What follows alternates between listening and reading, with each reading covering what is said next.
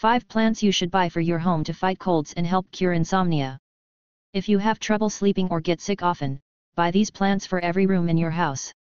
Certain indoor plants have been proven to help absorb harmful toxins in the air, such as formaldehyde, benzene, trichloroethylene and carbon monoxide. These toxins are found in everyday items from plastic wallpaper, carpeting, insulation, cleaning supplies and air fresheners. These plants can reduce many air pollutants including formaldehyde, microbial pathogens, and benzene. By removing these chemicals, this makes it easier to breathe and sleep at night. Bamboo palm, Chamaedorea seifrizii. According to NASA, it removes formaldehyde and is also said to act as a natural humidifier. All you need is to place one or two of these in a room to remove the toxins. Rubber plant, Ficus robusta.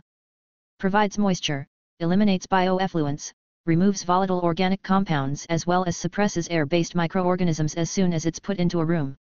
As time passes, the rubber plant becomes even more efficient at eliminating toxic compounds present in the air. Dracaena, Dracaena dermensis. This is one of the best houseplants tested for removing trichloroethylene. These plants absorb 90% of the acetone from household cleaners and nail polish remover. Dwarf date palm, Phoenix roebelenii. It is able to remove formaldehyde and xylene, a chemical found in plastics and solvents, from the air. Corn plant, Dracaena fragrans. This is an excellent plant that purifies the air by getting rid of toxins and adding oxygen to the air we breathe.